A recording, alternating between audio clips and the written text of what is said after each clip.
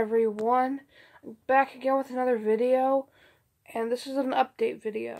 Um, as you may know, that this channel isn't really a real channel yet. I mean, it is a real channel, but what's going on is I'm not really getting any views or subscribe things. Um, the thing for that is it's because I have not had my channel, um, made for children yet, or I haven't got that yet, or something like that, whatever it is.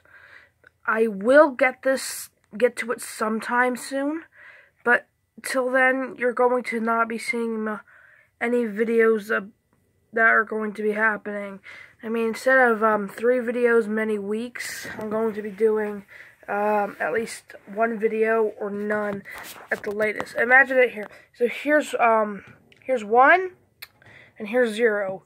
There's going to be, like, if I do a video, it's going to be, like, over here. If I, if, and if that one gets, like, deleted or something, it goes, drops down to here.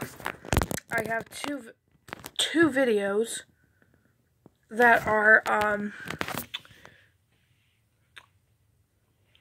well, I have, I had three videos, and then one of them got deleted, and the other two aren't, are still deleted, but the sources are still remaining.